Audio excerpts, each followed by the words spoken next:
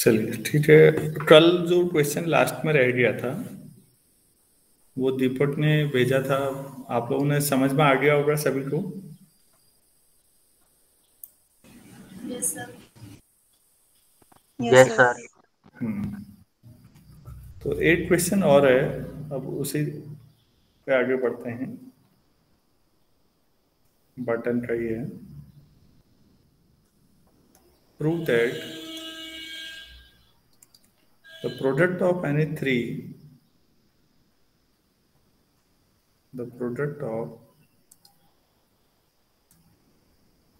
any three consecutive integers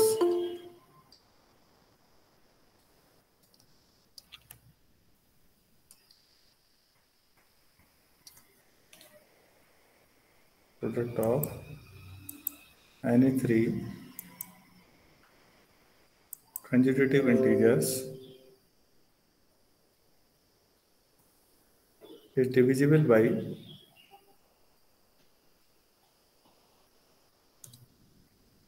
by six. ये पहला है। इसी में दूसरा क्वेश्चन है। बाकी सब लैंग्वेज वही है मैंने लिख रहा हूँ। थ्री टी जो यानी फोर आ जाएगा। और सिक्स टी जो ऊपर आ जाएगा ट्वेंटी फोर तो इस तरह से इन जनरल क्या जाएगा? फोर की जो ऊपर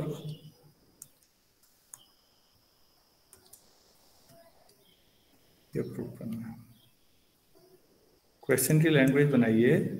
Prove that the product of any r consecutive integers is divisible by factorial r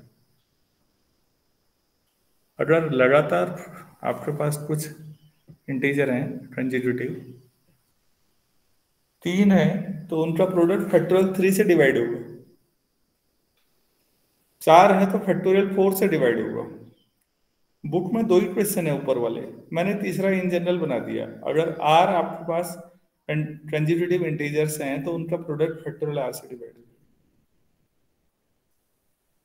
तो तरीके नंबर थ्योरी के हिसाब से भी हैं और परमुटेशन कॉम्बिनेशन तो मैं बाइनोमियल कोफिशिएंट की मदद से ही कर रहा हूँ। एनसीआर जो होगा n plus r C r हमेशा इंटीजर होगा या नहीं?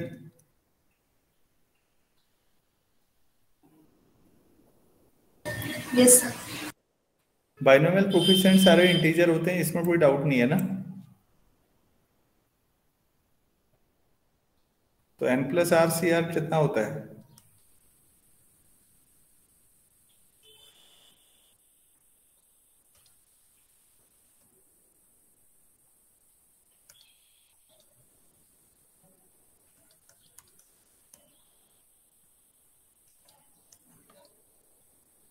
एन प्लस आर फैक्टोरियल का मतलब क्या हुआ बच्चों?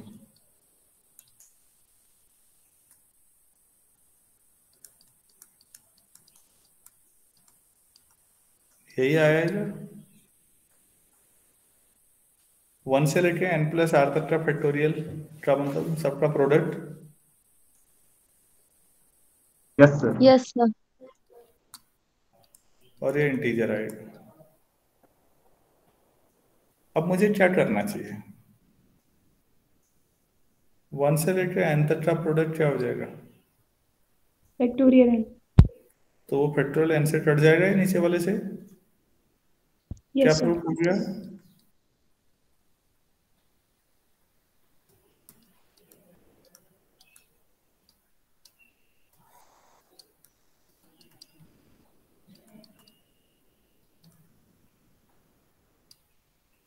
ठीक है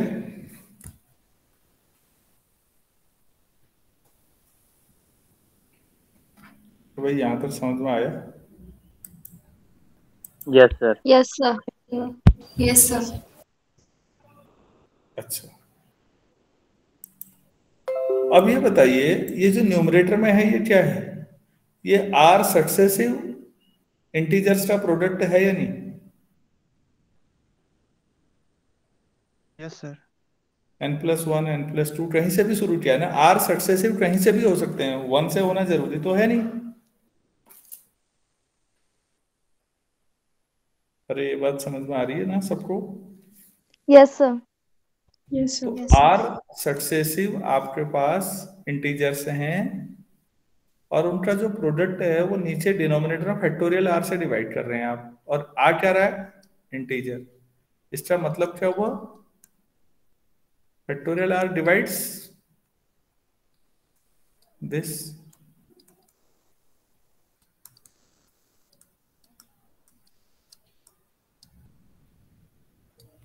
क्या यही प्रूव करना था? यस सर यस सर हाँ तो कभी भी बच्चों अगर आपके पास पाँच लगातार इंटीजर हैं उनका प्रोडक्ट फैक्टोरियल फाइव से डिवाइड हो जाएगा। दस लगातार इंटीजर का प्रोडक्ट फैक्टोरियल टेन से डिवाइड हो जाएगा। दो लगातार इंटीजर का प्रोडक्ट फैक्टोरियल टू से डिवाइड होगा and so on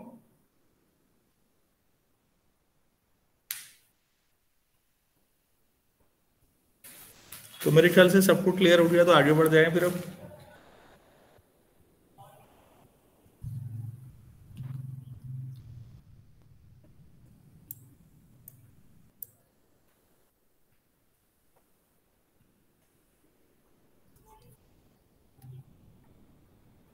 if a is an integer prove that 6 divides a into a square plus 11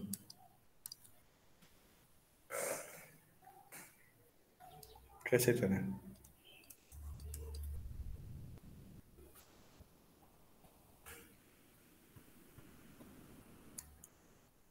एक बार इवन ले ले एक बार ऑड अच्छा। होगा। A equal to two n मान लेते हैं even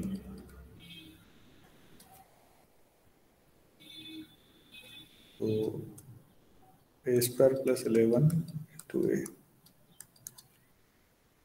two n four n square plus eleven hmm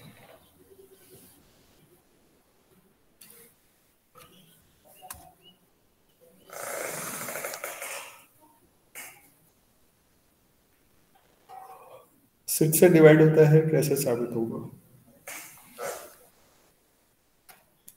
पहले से हम्म।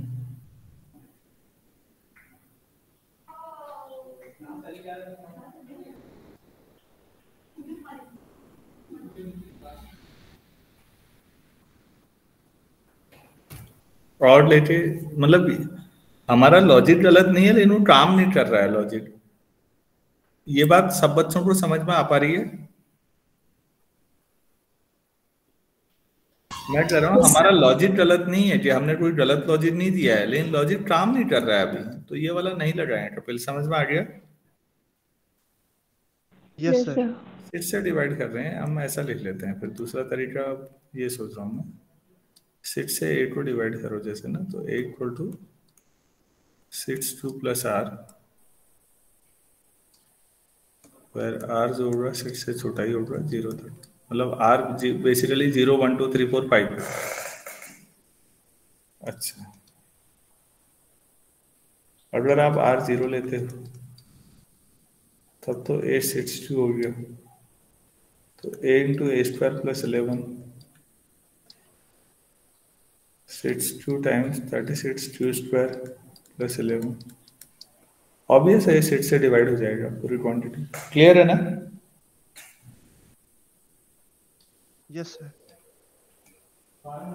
अगर आप आर वन ले लेंगे तो ए कितना मिला?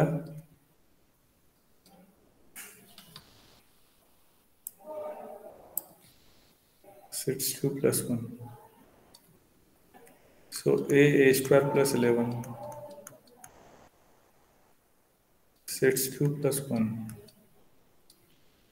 a square thirty six two square twelve cube plus one plus eleven तो ये ट्वेल्व हो गया है नीचे वाला। तो ट्वेल्व कॉमन आ जाएगा। तो six two plus one three two square plus q one तो ये भी सिक्स से डिवाइड हो जाएगा? यस सर हाँ। तो बच्चों ऐसे कहाँ तक करोगे? फाइव तक। आर इक्वल टू फाइव लेने तक। तो किया जा सकता है। क्लियर है सब लोगों को? तो कोई भी ये तरीका काम कर जा रहा है तो ऐसे करो। तो थोड़ा सा सोचना है कई बार कि ऐसे करने पे नहीं हो रहा है तो कोई दूसरा रास्ता सोचो।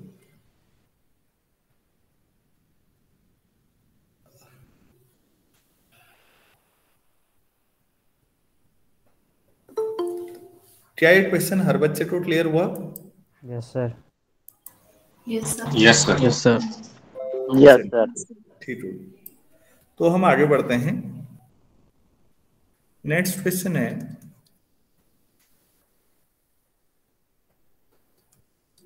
If a is an odd integer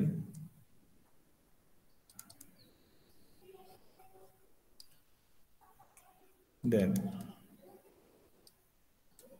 24 divides a square minus 1 ये करना है। ये कैसे करें? देन प्रूव दैट भी लिख दीजिएगा, मैंने प्रूव दैट नहीं लिखा है। ए कोई ऑड है तो 24 इसको डिवाइड करेगा। क्या ये बन पा रहा है कुछ? ट्राई करिए।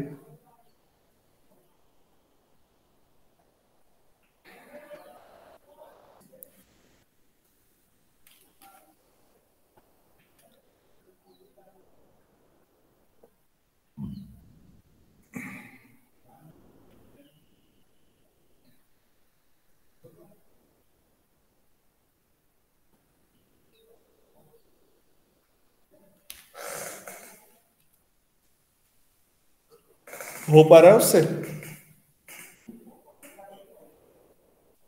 ए को two r plus one type का लेके। हो सकता ना हो रहा हो। इन्होंने हिंट कुछ और दे रखा है, इसलिए सोच रहा हूँ मैं। बुक में हिंट मिला हुआ है। The square of an odd integer is of the form eight plus one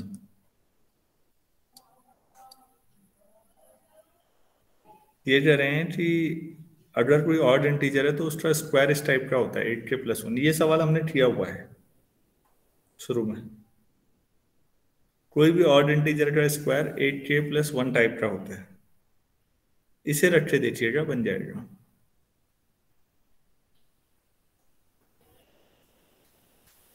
मेरी बात समझ में आ पा रही है आप लोगों को? यस सर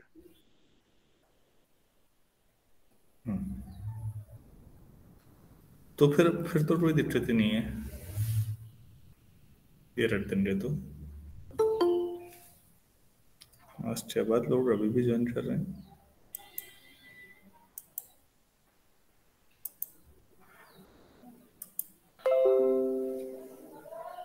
चलिए नेक्स्ट क्या है? नेक्स्ट क्वेश्चन देखते हैं। If a and b are odd integers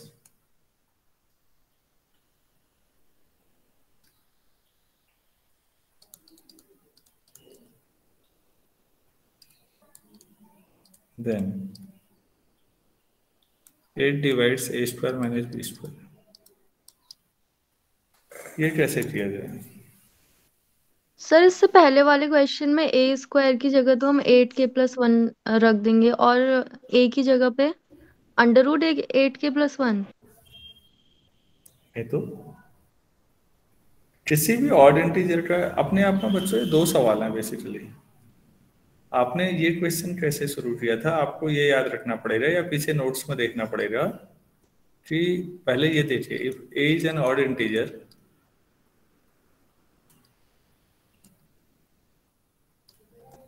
then the square is of the form 8k plus तो यहाँ पर ए क्या रखा था वही यहाँ पे रखोगे इस क्वेश्चन को पीछे जाके देखिएगा नोट्स में। ओके okay, सर और सर जो इससे पहले वाला आपने करवाया ना six divides a into a square plus eleven उसमें जब आर इक्वल टू टू रखते हैं तो सिक्स कॉमन नहीं आ रहा है बाहर। आर इक्वल टू टू एक मिनट मैं करके दिखा। तो ए हो जाएगा। सिक्स टू प्लस टू तो ए स्क्वायर प्लस इलेवन तो सिक्स क्यू प्लस टू इसका square thirty six q square twenty four q plus four plus eleven two common आ जाएगा three q plus two thirty six q square twenty four q plus fifteen यहाँ से three common आ जाएगा? Yes sir okay okay सही है तो six हो जाएगा। कोई बात नहीं ठीक है। आप लोग कभी भी मैं बाकी बच्चों से भी कहना चाहूँगा कि अरे यार मुझसे गलती हो गई जैसा भाव मत करिए। आपने प्रयास किया ये सराहनीय है। सबसे ज़्यादा गलती तो मैं करते रहता हूँ। दिन भर किसी न किसी को पढ़ाते रहता हूँ, कहीं ना कहीं गलत होते रहता है। ऐसा चलता रहता है, कोई बड़ी बात नहीं है। आप करोगे तो गलत भी होगा ही होगा। ऐसा क्या है? गलतियाँ हर इंसान करता है, बल्कि जो करता है वो इंसान है। अगर वो गलती कहीं नहीं कर रहा है कोई तो इसका मतलब वो मशीन हो चुका है कंप्यूटर नॉर्मली आपने देखा होगा, हमारे लेवल पे मतलब गलतियाँ नहीं करता तो मशीन है। हम तो इंसान हैं, गलती होती रहती है, उसको एंजॉय किया करो, वो भी कोई चीज़ें सिखाता है। हाँ जी स्टार्ट क्या करें? क्या ये डायरेक्टली हो जा रहा है? आप लोगों ने किसी ने पेन चलाया?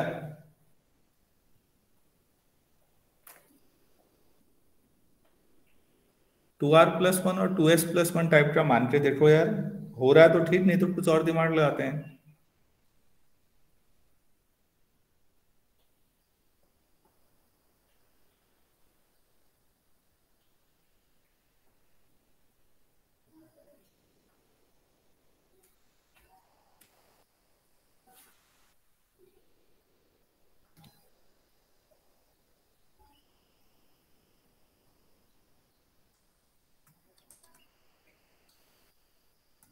आप लोग कुछ बोलते ही नहीं है देखते रहे सर इससे नहीं हो पा रहा। नहीं हो रहा four r square minus four s square plus मेरा तो हो जा रहा है इसमें फोर एस। तो four common r minus s भी common. R plus s plus one. ऐसा आ रहा क्या? यस सर यस सर ऐसा नहीं करते हैं फिर। Four r common r plus one minus four s common s plus one अब एक बात बताइए कभी भी दो नेचुरल नंबर हैं और सक्सेसिव नेचुरल नंबर का प्रोडक्ट इवन होगा या नहीं? यस सर यस सर दो नेचुरल नंबर हैं सक्सेसिव तो एट तो इवन होगा ही उन दोनों से। तो ये पक्की बात है ना ये टू लैम्डा टाइप का होगा। इवन जो होता है वो इस टाइप का होता है। यस सर यस सर हाँ बच्चों ये देखो तो। आप लोग देखिए मैंने भी गलत किया। पहले मैंने सीधे फैक्टर करने की सोची। कुछ और ले आया था मैं। फिर मैंने वो छोड़ा। फिर मैंने आर वाले एट सान लिए और एस वाले एट साथ अब ये सही बन गया। क्योंकि मैं ये जानता हूँ कि भाई दो सक्सेसिव इंटीजर्स का प्रोडक्ट गारंटी है कि इवन ही होगा। तो इसको आप फोर टू लैम्डा टाइप का रख सकते हैं और इसको टू म्यू टाइप का। तो eight times lambda minus mu आ जाएगा। ठीक है ना? यस सर ठीक। बाकी बच्चों को भी क्लियर हो गया कि एट से डिवाइड हो जाएगा। यस सर यस सर अच्छा बच्चों ये पिछले सवाल से भी हो जाता। है अगर ये ऑड इंटीजर है तो ए स्क्वायर किस फॉर्मेट में होता है? पिछले वाले में सोचो। एट के एट के प्लस वन तो जो ए स्क्वायर है ये दूसरा मेथड ये भी हो सकता था। कि भाई ए स्क्वायर अगर eight k plus one type का रख रहे हो तो ऐसे बी स्क्वायर भी रखो यार कुछ। एट एल रख दो। अब सब्ट्रैक्ट करो सीधे एट फैक्टर कॉमन आ जाएगा। पिछले से भी हो जाता। अब हम अपने आप को बुद्धिमान मानने वाले हुए हमने दूसरा दिमाग लगा दिया। अब ऐसे हो गया कोई बात नहीं। हो गया ना? Yes sir hmm.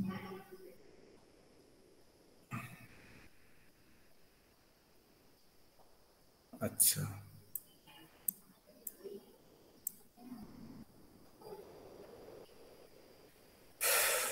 Next exercise है बच्चों, क्योंकि जीसीडी की जो बाकी प्रॉब्लम्स हैं, वो मैं पहले ही करा चुका हूँ। स्टैंडर्ड प्रॉब्लम मैं सारी करा चुका हूँ आपको। एक्सरसाइज से दोनों बचे हुए ट्वेंटी और ट्वेंटी वन क्वेश्चन आप देख सकते हैं अपने बुक्स में, मैं कराया हुआ है। तो अब अगला आता है यूक्लिडियन एल्गोरिथम तो यूक्लिडियन एल्गोरिथम के जो क्वेश्चन है एक्सरसाइज 2.3 है, ये मेरी बुक के अकॉर्डिंग आपकी बुक में थोड़ा बहुत वेरिएशन हो सकता है भाई। मेरे पास पुरानी किताब है। किताब पुराने के साथ प्लस पॉइंट ये है कि ये पेजेस की क्वालिटी बहुत अच्छी है। और नई किताबों के पेजेस की क्वालिटी बहुत अच्छी नहीं आ रही है, बहुत पतली किताबें आ रही है। और माइनस ये है कि कभी कभी वो कुछ घिस रहे हैं पन्ने तो वो साफ़ नहीं दिखता कहीं। चलो, कोई बात नहीं। अब यूक्लिडियन एल्गोरिथम है, वो आप लोग ऑलरेडी जानते हैं। इनका जीसीडी इस फॉर्मेट में लिखो कहा जाता है तो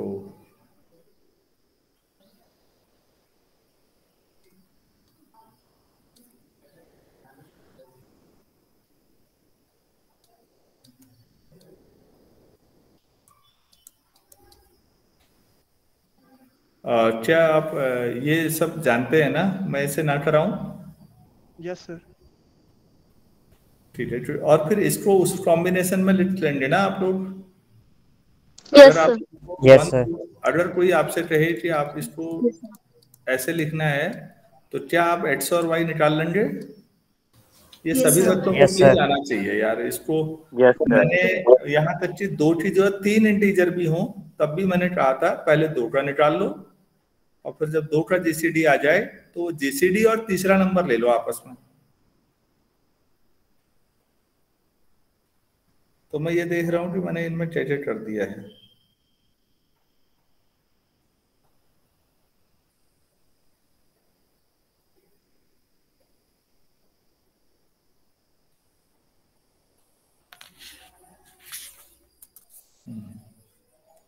क्योंकि इसमें मैंने ज़्यादा क्वेश्चन कराए थे। एलसीएम भी मैंने करा दिया है।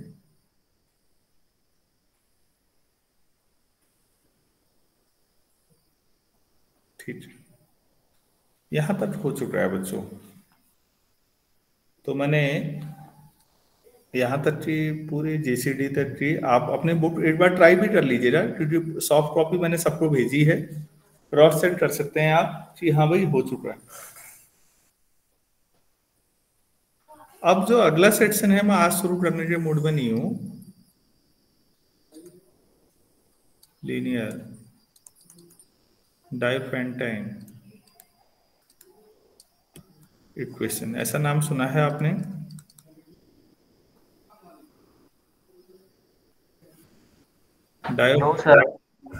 डाइफेंटाइन इक्वेशन सॉल्व मतलब हमें ये इक्वेशन सॉल्व करनी है। X plus b y equal to c जो ए बी सी हैं, वो बच्चों इंटीजर होंगे। सब एक साथ ज़ीरो नहीं होंगे। फिर तो अगर सब एक साथ ज़ीरो होने पे नॉन सेंस आ जाएगा। अब यहीं पर नंबर थ्योरी और रियल एनालिसिस का डिफरेंस देखिएगा। एक बार फिर डिफरेंस कई बार हो चुका है।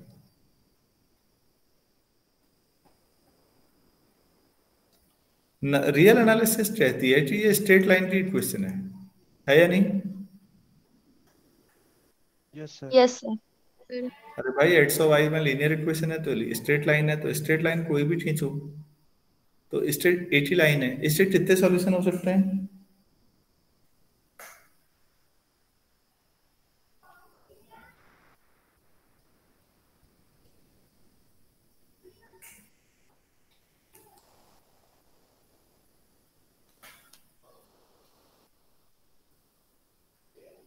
अरे यार लाइन की एक इक्वेशन दे रखी है एक ही इक्वेशन है बस। तो इसके कितने सॉल्यूशन हो सकते हैं पूछा गया है। क्या जवाब देना चाहिए?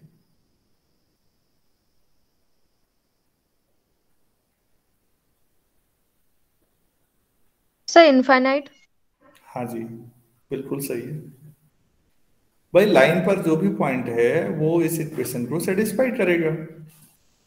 वो सब सॉल्यूशन है फिर तो लाइन पर कितने पॉइंट्स होते हैं? चाहे लाइन कितनी छोटी हो, लाइन सेगमेंट कितना ही छोटा बनाओ अनकाउंटेबल तो अनकाउंटेबल सॉल्यूशन होंगे। तो फिर आप कहेंगे फिर नंबर थ्योरी में क्या पढ़ाना है?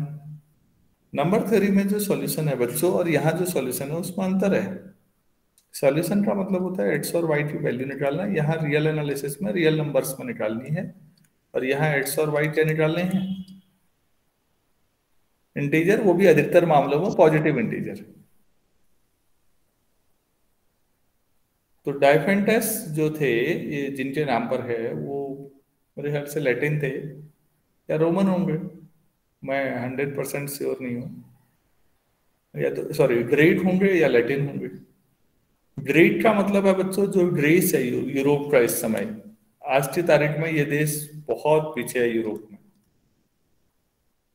कभी ये जिसको हिंदी में यूनान कहते थे, इस देश ने अद्भुत तरक्की की। आज के दौर में ये कहीं नहीं है यूरोप में, साउथ यूरोप का देश है। तो इस यही की लैंग्वेज थी ड्रेट ड्रेस थी और जो इटली की, जो उसको इटली कहते हैं इटालियन वहीं से लैटिन आती है। लैटिन शब्द ही इटालियन से बना हुआ है। आप समझ रहे होंगे या इटालियन लैटिन से बना होगा, ये ज़्यादा सही है। अब इटली की राजधानी का नाम क्या है बच्चों? रोम। रोम। तो इसलिए रोमन भी आप लोग जब बोलते हैं तो वो लैटिन से ही रिलेटेड है। वो इटालियन ही है। मतलब एट दौर में ये दोनों सभ्यता के बड़े केंद्र रहे। आज कोई भी सब्जेक्ट शुरू करते हो तो आप या तो ग्रेट वर्ड बोलते हो ओरिजिनली या लैटिन आप कहते हो कि ओरिजिनली इस शब्द का यह मतलब था ये यहाँ से शुरू हुआ। तो एक दौर ऐसा भी था जब इन दो दो देशों के जो फिलोसोफर थे, जो विद्वान थे, उन लोगों ने पूरी दुनिया में तहलका मचा रखा था। ग्रेट और लैटिन दोनों भाषाएँ भी ज़बरदस्त रही। आज बदकिस्मती से आप देखिए, इटली तो फिर भी ठीक ठाक पोजीशन में है ग्रेस की पोजीशन बहुत खराब है। यूरोपियन यूनियन में सबसे कमज़ोर देशों में से एक है ग्रेट ग्रेस अच्छी तरह तो डाइफेंटस ग्रेट विद्वान थे। ग्रेट बहुत सारे विद्वान रहे जिन्होंने बहुत शानदार काम किया है। ये उनके नाम पर है और हमें नंबर थ्योरी में इस लीनियर इक्वेशन के जो सॉल्यूशन ढूँढने हैं वो कौन से वाले ढूँढने हैं? इंटीजर सॉल्यूशन तो ज़ाहिर सी बात है हम स्ट्रेट लाइन का ग्राफ नहीं खींच सकते क्योंकि एक्स और वाई सारी वैल्यू नहीं ले रहे चलो इंटीजर वैल्यू लेंगे। ये मेरी बात समझ में आ रही है? यस yes, सर तो जब इंटीजर लेंगे तो बच्चों हमें ये देखना पड़ेगा कि क्या इसका सॉल्यूशन एग्जिस्ट करता है। हमेशा तो इसका जवाब है नहीं, हमेशा सॉल्यूशन एग्जिस्ट नहीं करता।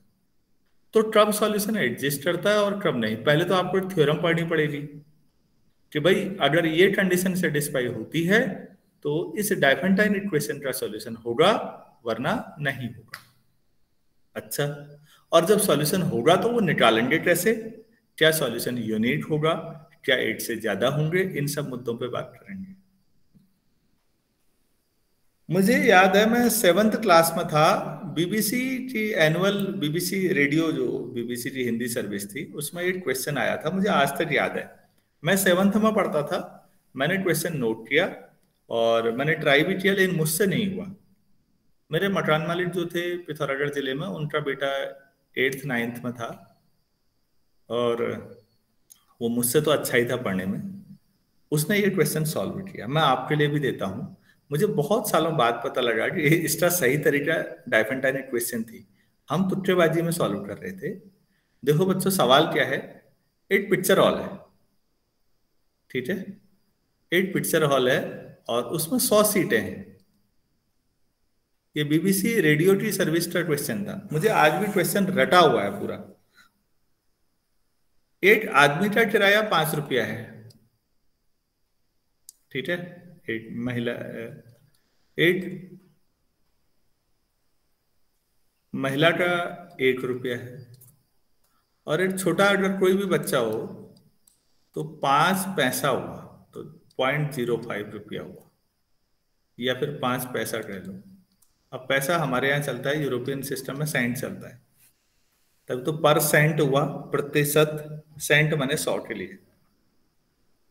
पर माने प्रत्येक तो पर सेंट परसेंट का मतलब प्रत्येक सौ में। तो एक आदमी का किराया पाँच रुपया है, महिला का किराया एक रुपया है, बच्चे का किराया पाँच पैसा है। आपको पिक्चर ऑलरेडी सौ सीटें भरनी है, और किराए में भी सौ रुपये ही मिलने चाहिए आपको। तो बताओ कितने आदमी बैठे हैं कितनी औरतें बैठी हैं कितने बच्चे बैठे हैं? क्वेश्चन है आपके लिए।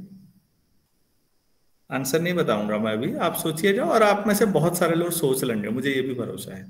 लेकिन ये क्वेश्चन इस तरह के क्वेश्चन डाइफेंटाइन क्वेश्चन का बेस है। ये क्वेश्चन आप तुक्केबाजी से सॉल्व करेंगे कि यार ऐसा करते हैं, आदमियों को इतना रख लेते हैं, औरतों को इतना। सौ की सौ औरतें नहीं भरनी है, वरना सौ सीटें भर जाएँगी, सौ रुपये हो जाएँगे। सभी का रिप्रेजेंटेशन होना चाहिए। पुरुषों का भी महिलाओं का भी बच्चों का भी। क्या क्वेश्चन समझ में आया सब लोगों को? यस सर यस सर हाँ जी। तो इसका सॉल्यूशन का जो लॉजिकल मेथड है वो लीनियर डाइफेंटाइन इक्वेशन है।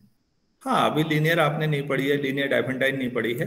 अभी आप अपना दिमाग लगा के आड़ा तिरछा इधर उधर करके निकाल लीजिए। यही डाइफेंटाइन इक्वेशन का लॉजिक है जिसके पीछे हम इसको पढ़ेंगे। अच्छा दूसरी बात मैं आपको ये बताना चाहूँगा कि आ, मुझे कल जाना है पिथौरागढ़ एक प्रोग्राम में और मैं संडे लौटूँगा।